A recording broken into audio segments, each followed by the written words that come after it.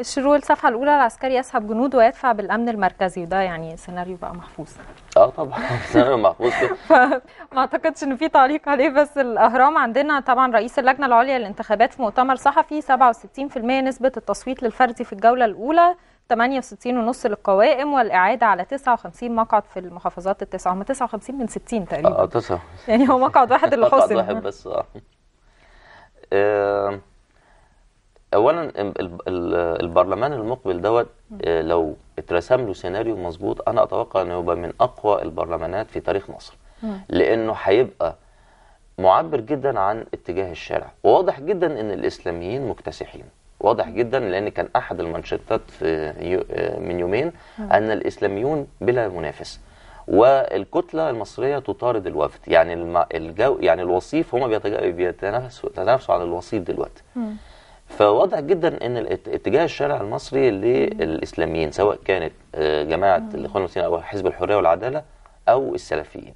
السؤال دلوقتي هل أنتوا هتبقوا حاصلين على أغلبية المقاعد؟ وعند- وعندكم فرصة إنكم تمارسوا الحياة السياسية بعد ما كنتوا في الظل. إيه اللي ممكن تقدموه راجل الشارع في الفترة المقبلة؟ رجل الشارع منقسم لحاجتين واحد عاوز رغيف العيش والتاني عايز الديمقراطية والحياة السياسية السليمة. يعني أنت قادر إنك تقدم له رغيف العيش ده كويس جدا لأن أنت بتلعب وعلى فكرة الإسلاميون بارعون في هذا الاتجاه. بيلعبوا على وتر الخدمات كويس جدا بالنسبة لرجل الشارع لكن المهم جدا إن هم يوفروا له السياق العام اللي إيه اللي يحقق له الراحة.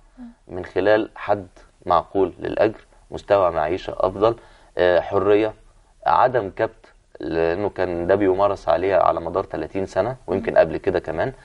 فالفكر الإسلامي أو الفكر المحرك لحزب الحرية والعدالة أو السلفيين هو إن هم بقدر الإمكان يبقوا قريبين من نبض الشارع.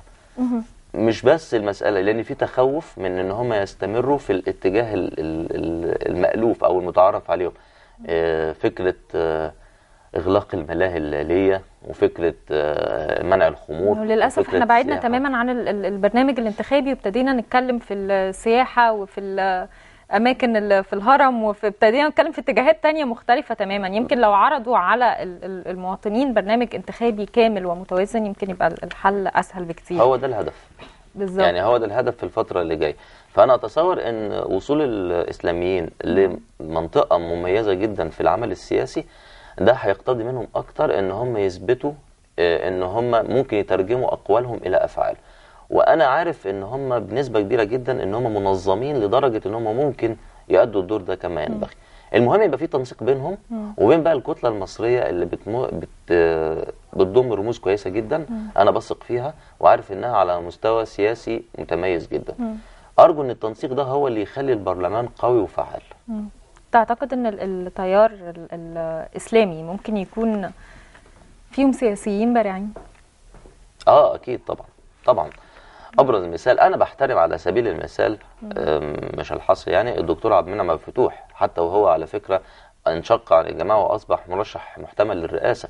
بس في بعض العناصر لأنه هو كان هو كان أحد آه، ال- الأجنحة الإصلاحية جوه جماعة الإخوان المسلمين وقت ما كانت محظورة. وكانت كل مواقفه تدل على إنه حد مستنير.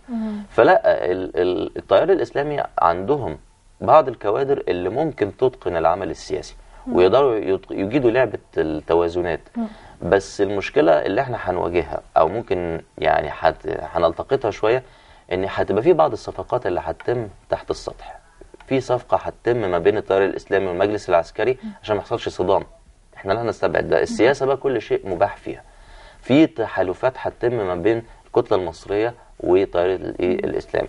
لو حصل تعارض في الأجندات أو تعارض في المصالح بينهم من بعض ده هينعكس على الوضع أو الحياة السياسية بشكل عام. وكده مش هيتم تنقيتها خالص. فلازم في تنسيق.